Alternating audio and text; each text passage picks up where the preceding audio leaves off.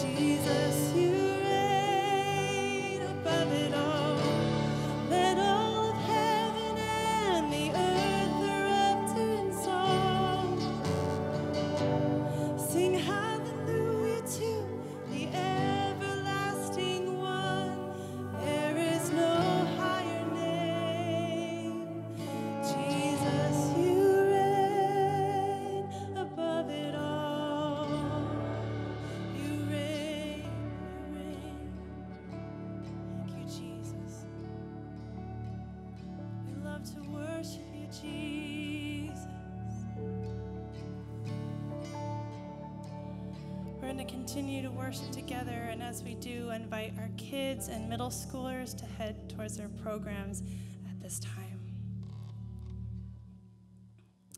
And as we conclude our uh, series on Psalm 23, we're going to sing a newer song together um, called Shepherd. I invite the words just to wash over you, to make this your heart's prayer, and to join in as you catch on.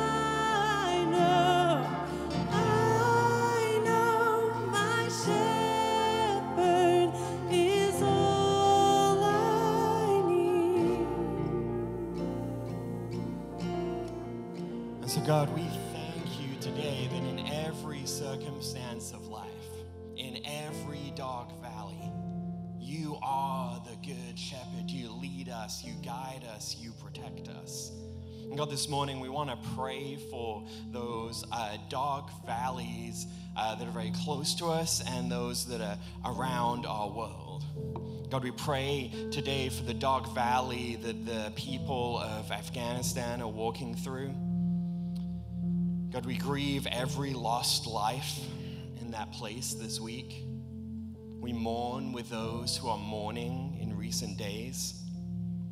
We pray for your, uh, your rod and your staff to protect all who remain in harm's way. Pray for all who find themselves displaced or who are suffering.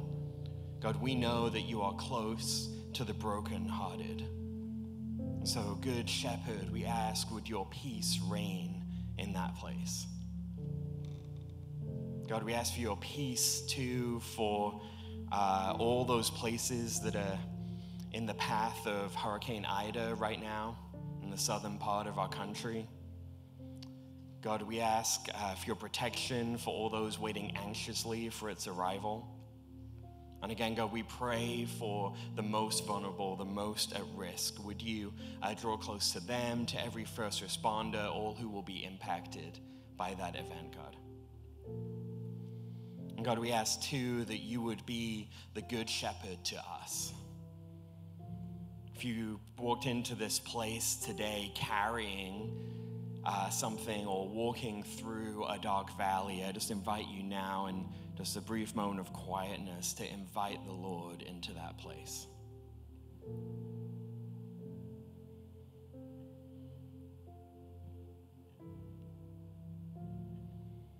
God, in all of those dark places, we ask, Good Shepherd, would you bring your goodness, your protection, your comfort, and your light?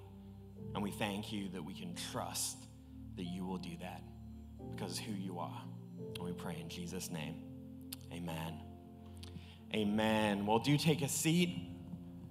Uh, good morning again. It's really uh, fantastic to see you today. We're so uh, glad uh, to worship together. If we haven't met, uh, my name's Andy, one of the pastors here. Uh, just got a few things to let you know about today. the first is just a reminder we have various in person services. So you're at one of them, but there are there's one more today uh, in Darien at 11 o'clock. And then in just a couple of weeks, on September 12th, uh, our new Westchester location will be launching at the Radisson in New Rochelle. And so uh, we'd love to see you there uh, as well uh, if you are a Westchester uh, person in a couple of weeks' time.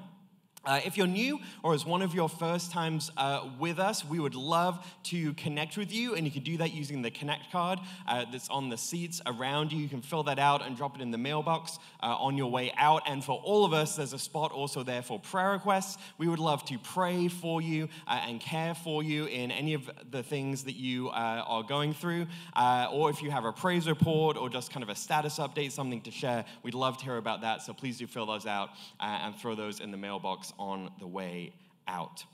Uh, one quick save the date and a great way to connect is that coming up on October 9th for all the ladies, we have a women's breakfast uh, and conversation coming up with our very own uh, Jeannie Cunyon, who I think is here today somewhere. Jeannie's over there, so if you want to find out more, you can quiz the, the speaker over there.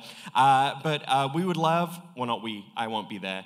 Uh, Christine and the ladies would love to have you there, and uh, so save the date for that on October 9th.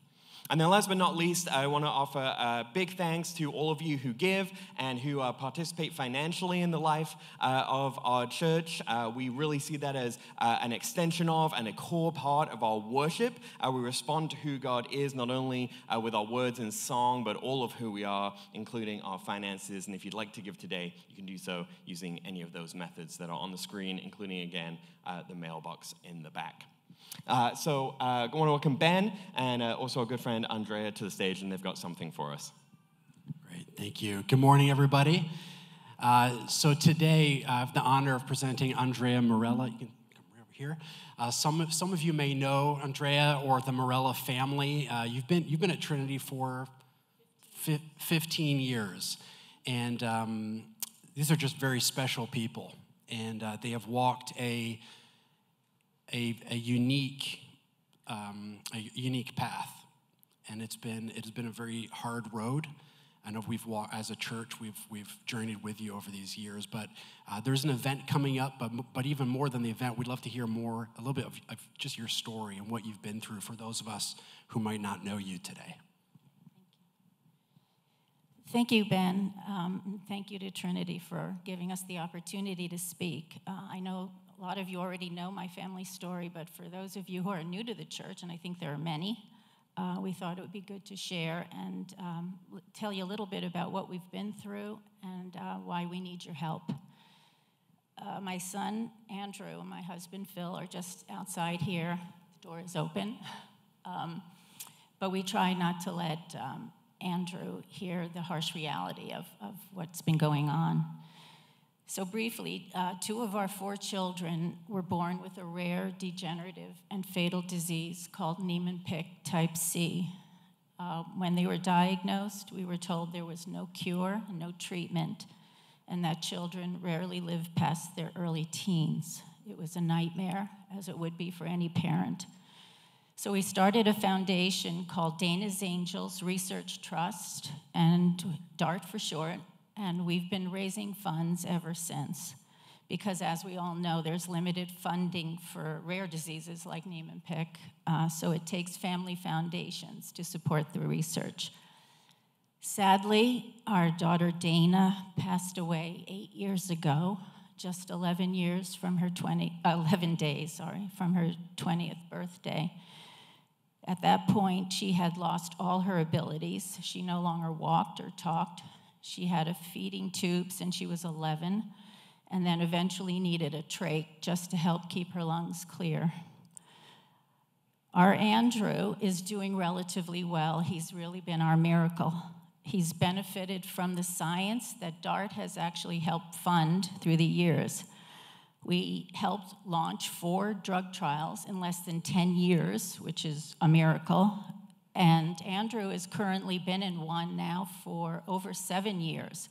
He gets a spinal tap once a month. That's how the drug is administered. He's had about 140 spinal taps. It sounds awful, but he's a trooper, and it is dramatically slowing the progression of the disease. We have brilliant scientists around the world in so many institutions actually studying Niemann-Pick C. We have many biotech companies who have shown an interest recently in developing therapies for our rare disease, and it is rare. There's only five or 600 cases in the world that we know of. Um, but we need to fund the research. We can't stop because to date, no child has survived Niemann-Pick C, and we need to change that fate. So we're asking you, I'm here today to ask you to please help us in our efforts um, and sign up for our walk. We're having our fourth annual Dart to the Finish walk at Todd's Point on Saturday morning, September 25th. Uh, it's a two mile walk around the beach. Ben is coming. And um, we'll be out here after the service to sign you up, to give you any information, to answer any questions. Um, and you can come in person, we'd love it, or you can walk virtually. Either way, it's uh, helping us raise funds. Uh, you don't need a beach pass. Uh, it'll be, you just come in and say you're there for the Dart Walk, and you're welcome to, to just come in. Um, every dollar we raise goes right to the research. We are an all volunteer organization. We have no overhead, and just know your money is put to good use. It's where it needs to be. If you want to sign up online, you can go to dartevents.org, and it takes you right to the sign up page. And just one last, last thing I wanted to add. Um, over the last 19 years that Phil and I have been dealing with this, People have often asked us how we stay so strong. Well, our strength and perseverance comes first from our faith and trust in God. And then, secondly, just knowing that people out there want to help us and support our cause. And we have especially felt that here at Trinity. They have walked this journey with us for years, the staff and everyone who comes here. So we're relying on your help once again on behalf of Andrew and all the kids suffering with this. Please join us on September 25th. Thank you. Andrea, thank you. We, we love you. We love your family. Um, we're so honored that you're part of. It's great to be in this Trinity family together, and I'll see you at the walk. Hope to see some of you at the walk too. It's a, it's a great time. There's also a, a virtual walk too if you're not able to physically be there, but uh, an, an amazing event. So thank you. Thank you.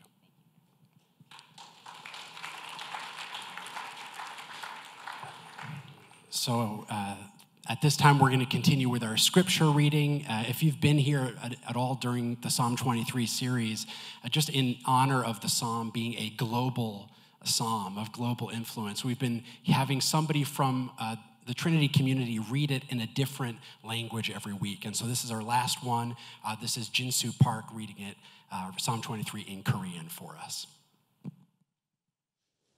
시편 23편 여호와는 나의 목자시니 내게 부족함이 없으리로다. 그가 나를 푸른 풀밭에 누이시며 쉴만한 물가로 인도하시는도다. 내 영혼을 소생시키시고 자기 이름을 위하여 의의 길로 인도하시는도다. 내가 사망의 음침한 골짜기로 다닐지라도 해를 두려워하지 않을 것은 주께서 나와 함께 하심이라. 주의 지팡이와 막대기가 나를 안위하시나이다. 주께서 내 원수의 목전에서 내게 상을 차려주시고 기름을 내 머리에 부으셨으니 내 잔이 넘치나이다. 내 평생의 선하심과 인자하심이 반드시 나를 따르니 내가 여호와의 집에 영원히 살리로다. 하나님의 말씀이었습니다. 감사합니다. Thanks be to God. Well, uh, I'm Ben if we haven't met before. And uh, it is great to be uh, together today. This is our last week in this series. Uh, in the month of August, we've been in this series, Life Without Lack, where we've been looking at uh, probably the most famous passage in all of Scripture, which is Psalm 23.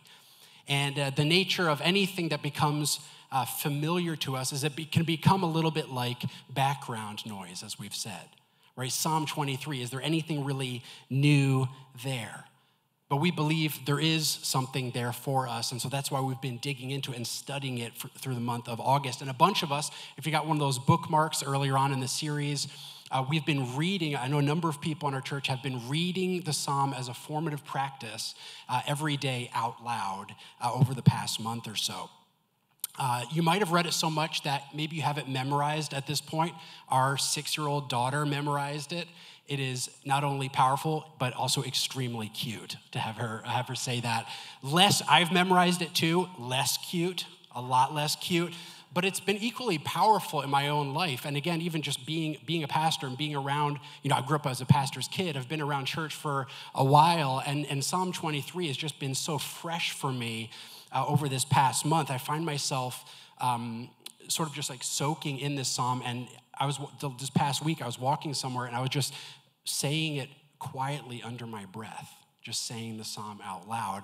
And I could actually, as I said the words, I could actually feel uh, something shifting inside of me.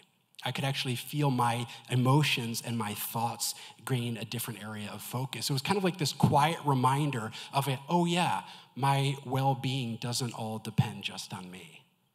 It was that kind of reminder. Now, if you missed the previous messages, they're online. We'd invite you to go and check those out. But the real, the real power in Psalm 23 isn't in sermons about Psalm 23, it's in the psalm itself. And so, actually, let's do this one more time here in this final week of this series. Uh, let's read this psalm uh, out loud together. And so if you're able to, if you're able to, I invite you to stand. Let's just read this psalm together one more time. The Lord is my shepherd, I shall not want. He makes me lie down in green pastures. He leads me beside still waters. He restores my soul. He leads me in paths of righteousness for his name's sake. Even though I walk through the valley of the shadow of death, I will fear no evil for you are with me. Your rod and your staff, they comfort me. You prepare a table before me in the presence of my enemies. You anoint my head with oil. my cup overflows. Surely goodness and mercy shall follow me all the days of my life, and I shall dwell in the house of the Lord forever. Amen. You can t- take a seat. Now, the thing about Scripture is that it's not just a Sunday thing. It's an everyday thing. And the more scripture we ingest, the more we meditate on scripture, the more we take into ourselves, um, it becomes, it actually becomes a little bit easier for the Lord to speak to us, I find, uh, because you have a deep well uh, inside of you. And today we are finishing this series by looking at the last verse uh, in this uh, psalm. And for me, like on a personal note, this is probably the most, Uh, in my opinion, the most beautiful portion of this psalm.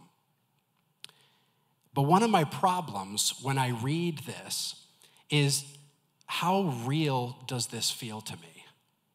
How, how accurate does this feel? Because, I mean, look at the confidence here, right? Look, look at these words. It's bold, it's almost bragging.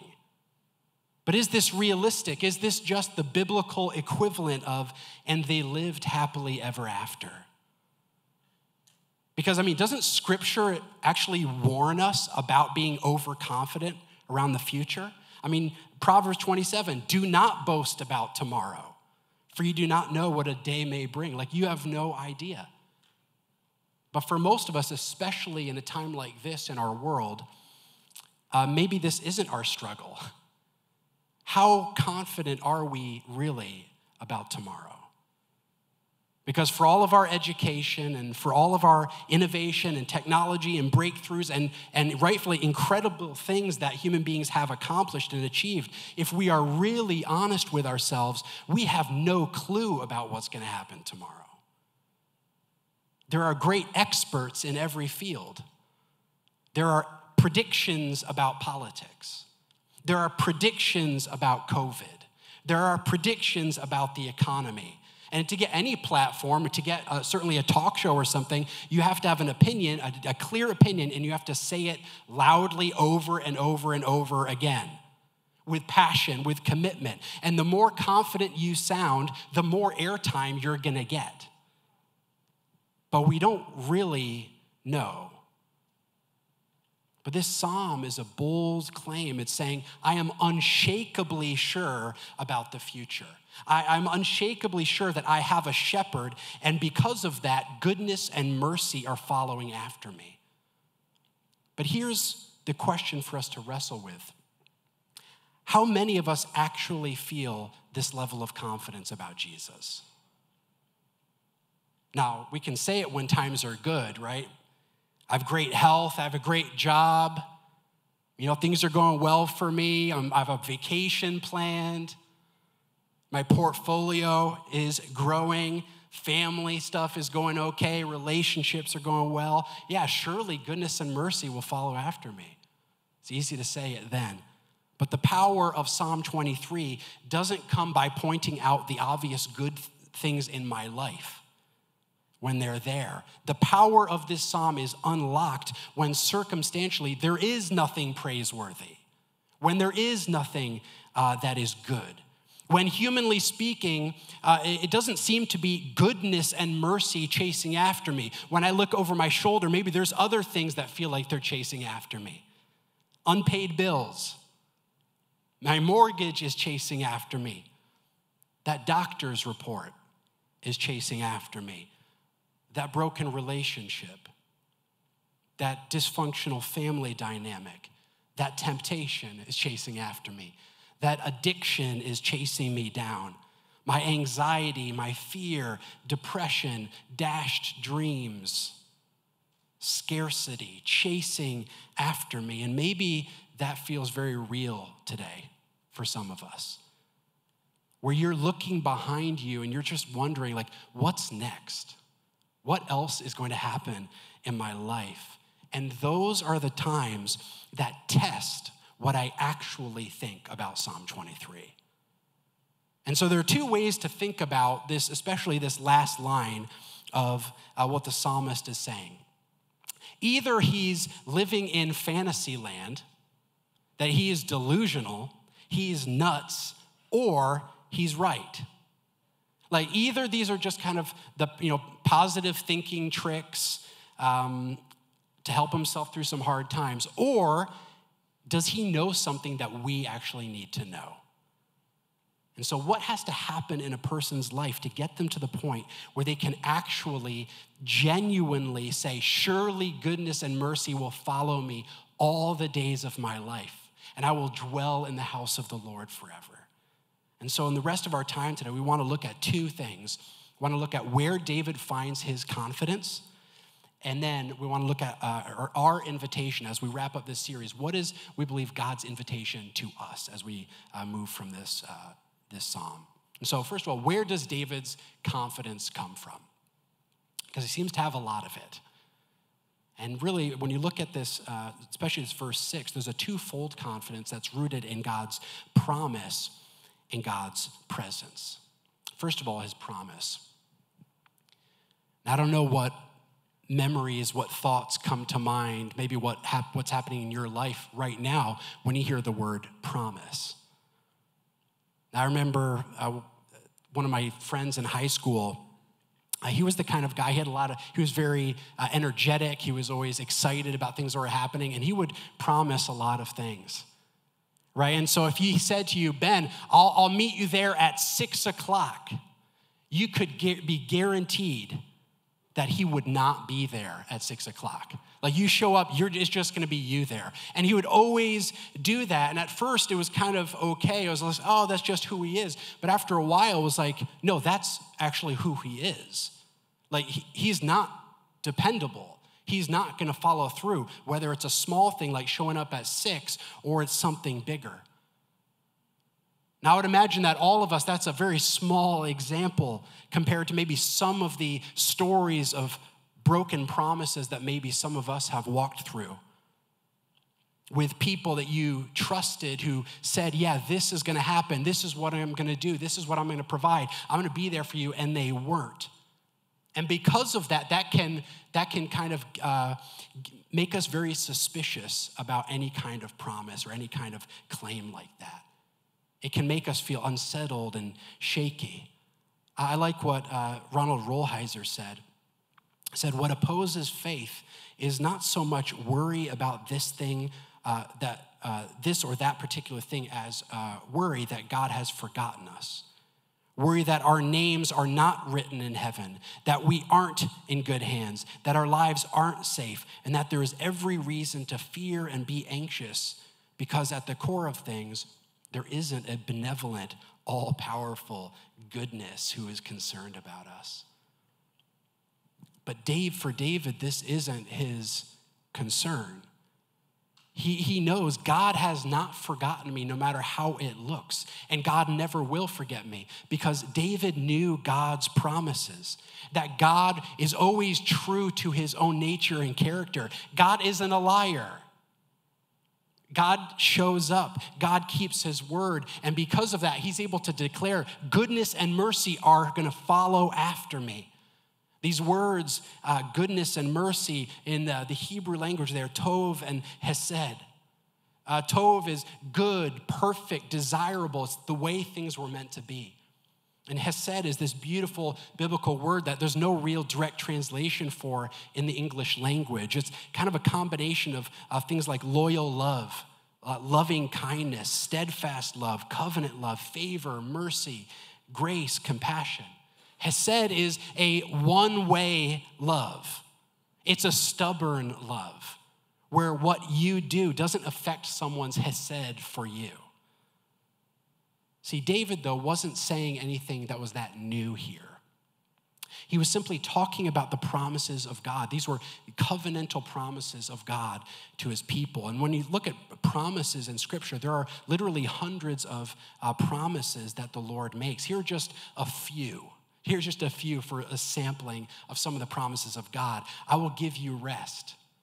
I will strengthen you. I will answer you. I will bless you. I will not fail you. I will provide for you. I will never leave you. I am for you. I will direct your steps. Who wants some of that today? And the thing that holds these promises together, the thing that, the kind of like the super glue or the superpower of sorts that makes all of these promises uh, uh, work, is this thing called grace. It's unmerited favor that God's goodness and mercy are going to chase after you because that's his promise to you. I, believe a lot of Christians today, a lot of followers of Jesus today, are living a, a different version of this story, a different kind of gospel story that maybe we could call the gospel of self improvement. And it sounds something like this I, I, I become a Christian, I give my life to Jesus, and then I have to sort of take up the torch and I have to try really, really hard to make sure he continues liking me and kind of just hope for the best. And so this is Christianity mixed with individualism, mixed with hustle culture, mixed with self reliance. And here's just a few possible signs that maybe some of this is present in, in your own life. Or maybe the, there's somebody else who's someone who loves you would be able to see these and recognize some of these things in your life. Okay, so a couple possible signs that the gospel of self improvement is present in my life. I'm more interested in fixing the outside than the inside. Or because there's persona management. And so even if I've got stuff going on the inside, if I look okay, that's good, that's okay to me. How about this? Prayer is typically a last resort for me. So I'll try, I mean, yeah, I believe in prayer, but I'm gonna do what I can, humanly speaking. And if it gets really bad, then maybe I'll, I'll bring it before God if I do pray, it's almost always urgent petition, asking, rather than a loving uh, a conversation with somebody who loves me. How about this one? My unspoken theology is God helps those who help themselves, which in some surveys was the most popular verse in the Bible. Unfortunately, it's not in the Bible, but uh, still popular nonetheless. How about this? I respond with anger or entitlement when others don't live up to my expectations.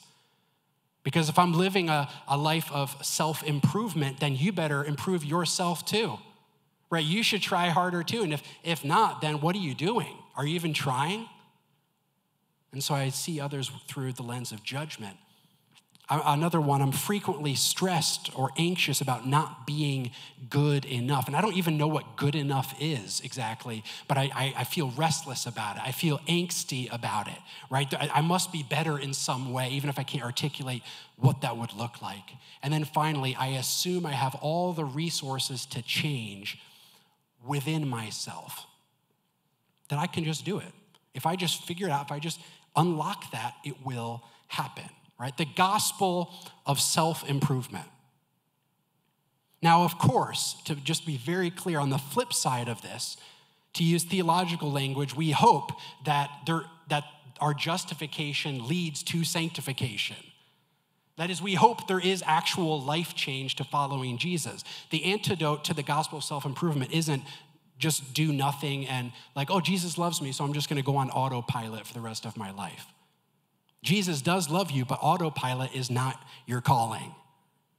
Now, we hope that there is life change. We believe that when Jesus forgives us and saves us, that actually leads to a life of repentance and a life of humility and a life uh, toward maturity because that's natural and that's good. But the promise of the shepherd is that if you're a sheep in my flock, I've got you. I've got you because I've got you. His desire to rescue me isn't diminished by my own stubbornness or my pride. Because Psalm 23 is not the gospel of self improvement, it's the gospel of grace. Right? The psalm doesn't say, you know, or the psalmist doesn't say, hey, I can feel good about tomorrow because I'm such a good sheep. I can feel good about tomorrow because uh, I'm so smart. I'm so resourceful. I'm such a good planner because of my moral excellence and my piety. No, the promises of God, the promises of the shepherd are not based on the faithfulness of the sheep. Right? Provision for the sheep is an act of grace. The sheep doesn't earn it, it simply cooperates with the shepherd to receive it. And so David is saying here ultimately, when he says that, that, that mercy, that the goodness, that these things are running after me, here's what he's saying you, you can't outrun grace. Grace runs faster than you. you. You might have some fast runners here today. Grace runs faster than you, right? Because that's who God is. And that is the first thing that brings such confidence to David about his, his, both his present and his future. So it comes from God's promise, but his confidence also comes from God's presence.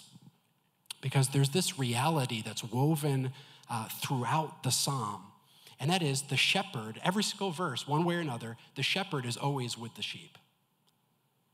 I remember someone here uh, saying that uh, the Christian walk could be summed up in one sentence. That is, in one, this one phrase, to live ever aware of God's presence to live ever aware of God's presence. Now, what's God's presence? We could do a whole series just on God's presence. Well, sometimes we think of God's presence as a feeling or an ambiance or uh, a, an atmosphere. I remember being, when I was uh, in, I went, as a teenager, I went to a youth conference, and somehow the presence of the Lord, whenever the subwoofers came on and the fog machine came on, there was always the presence of the Lord. Like, was that the presence of the Lord or was that a fog machine? And lights. I'm not exactly sure. But the presence of the Lord can be and can feel like an atmosphere or something like that. But in the Old Testament, uh, it, was, it was about being before God. The word that's often translated uh, as pre- uh, presence, it can also be translated as face. The presence of God, the face of God. That is a close and a personal encounter with the Lord. Uh, God's presence is everywhere, and yet the heart of the believer is to fully experience that. We can't control it. We can't manipulate His presence. We can't uh, like manufacture it, but we can position ourselves in such a way that we'd be more open to it. And then in the New Testament, uh, we're told that God's presence becomes fully manifest in Jesus, and then the Holy Spirit makes that real and tangible for us to be able to perceive and sense Him more than just a, an idea about God, more than a doctrine about God, right? It's the difference between having a sense of my wife and knowing and actually knowing my wife. Like a sense of my wife, like I read her biography, I know some facts about her. I heard someone talk about her one time. When I know her, though, I know her, her, her way of thinking. I know her voice. I know what she, what she enjoys in life or doesn't enjoy. I know her dreams, her hopes. I know her thoughts about me because I know her, right?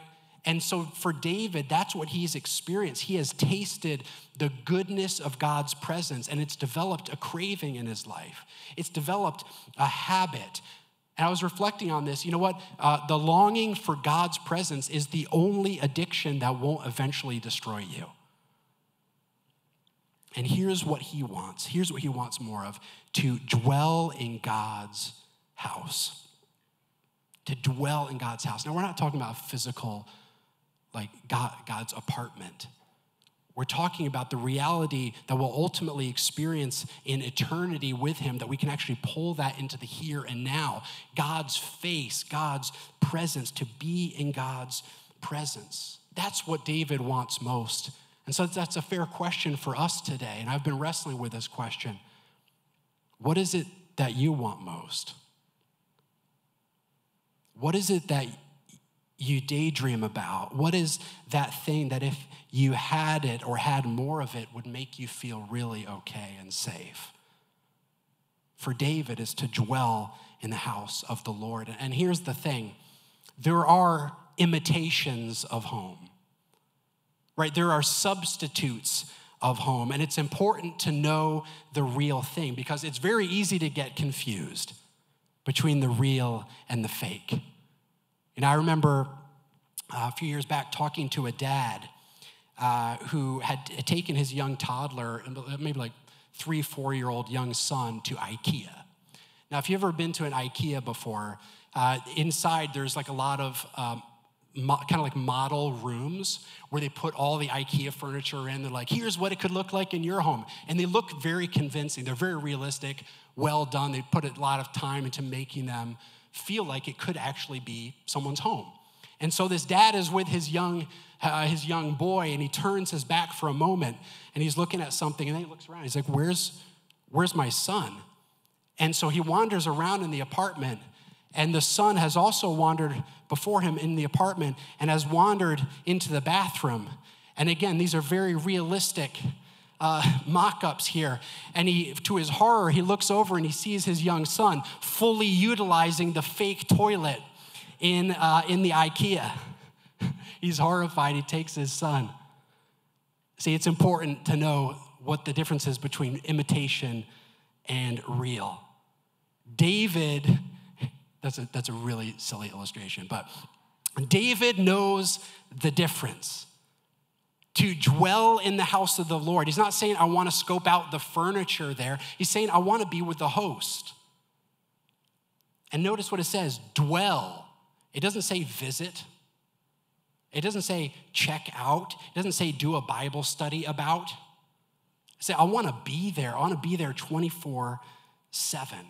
And so when the psalmist imagines bliss, peace, satisfaction, right, there's a lot of other things he could say. I mean, after all, he would go on to become king, right? He, he's experienced everything, he, he's experienced everything that somebody could experience.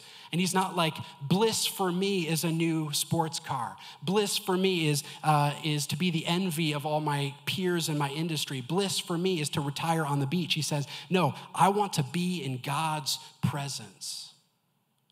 And so, as we think about that again, if we were to take out a piece of paper and sort of rank order things in our lives that we long for more of, would God's presence make our list? Yeah, I was thinking about this just uh, yesterday. What if this psalm ended without today's verse? Like, what if it ended and we still had green pastures and we still had the still waters and we still had the rod and staff and he still anointed our head with oil? But for David, that wouldn't be good enough because we would not dwell in God's presence. And for David, that is the best part. See, Psalm 23 is about having a hunger for God's presence more than just having a hunger for God's blessing. I appreciate what Pastor Derwin Gray said about this. He said, If he gave us everything we prayed for, we would begin to worship the things he gives, uh, gives us instead of him. And I think there's probably some truth to that. David is saying, God, I want you more than I want the stuff I can get from you. And God, I do want provision. I do want guidance. I do want pr- uh, protection, all these things. But more than that, I want you. You see, I don't think David was actually boasting about tomorrow. David was boasting about God. He was saying, This is who God is. And so he found a confidence in God's promise, he found a confidence in God's presence.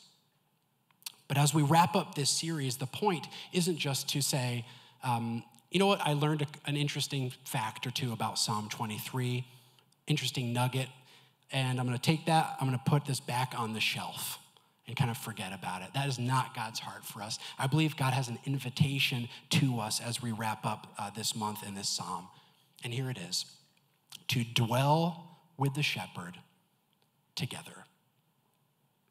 Psalm 23 is uh, really a description of what apprenticeship to Jesus can actually look like. In another psalm, David says this one thing I have asked for and that I will seek that I may dwell in the house of the Lord all the days of my life, to gaze upon the beauty of the Lord and to inquire in his temple.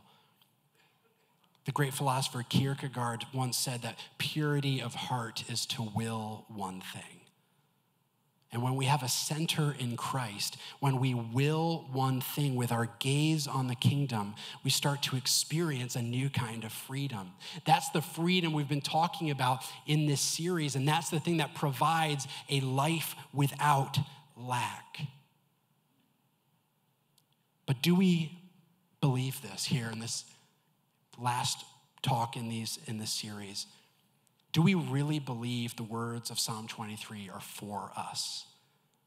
Or is this sort of a nice spiritual placebo? Are these just nice words or are they true words? Now, when you're in a hard place, when you're in the valley, people can try different things to cheer you up. Right? Some will just try that. They'll say, I want to cheer you up. Like, you know, turn that frown upside down. You know, there's other fish in the pond. Something will work out. God had a plan. And they'll try to just cheer you up with cliches and things like that. You know, look on the on the bright side, smile a little bit more. Others will have a different approach and they'll try to solve your problem for you. Well, have you tried this? Have you Googled that? Here's, have you tried this approach? And all of them, those friends, may be well intentioned, trying to get rid of the pain for you. But the good shepherd does something very, very different. He walks with you in the valley. See, the trial might still be there. The valley didn't change, but you're changed by his presence. Psalm 23 is not about escapism. It's about ushering in the peace and the wholeness of the kingdom of heaven here and now. And over the centuries, countless believers have experienced this for themselves and have learned this, not by hearing a sermon about it, not by someone telling them it's true, but by actually experiencing it for themselves. And Jesus, friends, Jesus is inviting us to experience this psalm for ourselves too. Again, this invitation to dwell with the shepherd but the second part of that is together.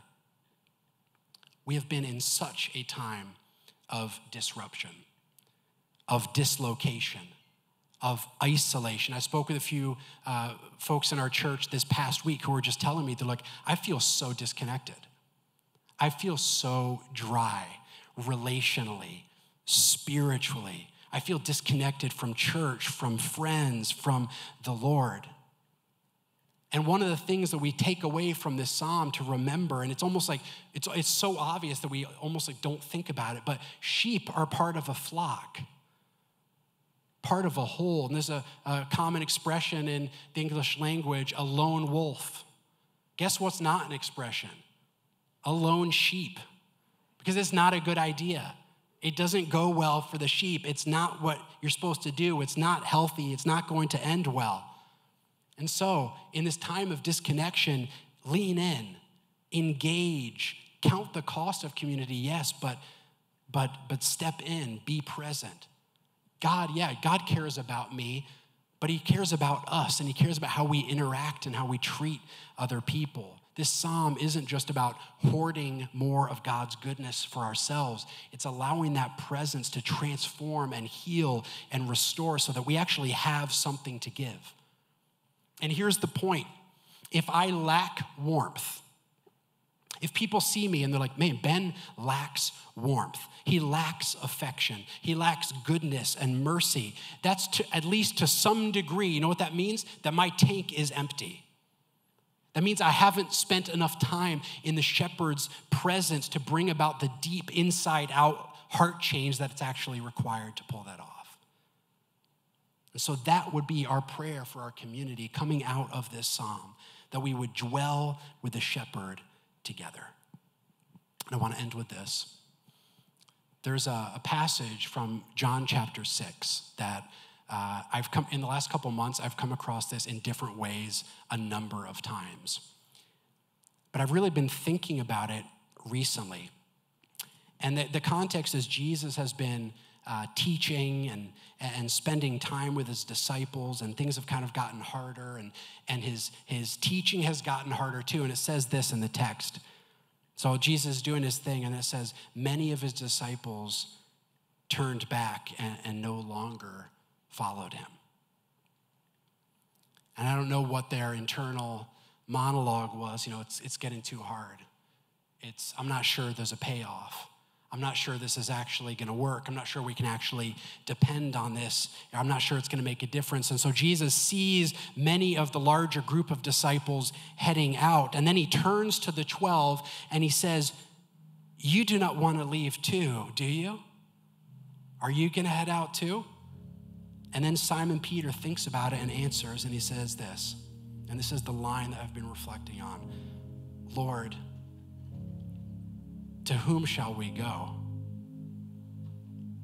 Jesus, where else would we possibly go? I want to invite us to stand. That is the heart, I believe, of God's heart for us coming out of this psalm. where else would we go? You can run, you can, you can try a lot of things in life, but ultimately, there is nobody like the Good Shepherd. There is, there is no other way to, to meet that, need, that, that, that sense of lack that is so uh, uh, pervasive in our lives in different ways.